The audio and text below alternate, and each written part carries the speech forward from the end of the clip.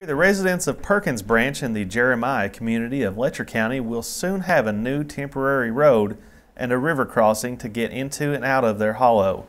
More than two dozen families were stranded after the only bridge into and out of Perkins Branch collapsed at some point Tuesday night or Wednesday morning.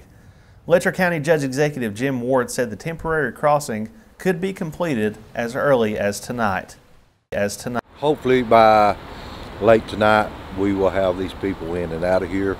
Uh, it's still going to be uh, probably soft uh, and mushy, but uh, should be able to get an ambulance, uh, fire truck, uh, get the people in now. they're really being very patient.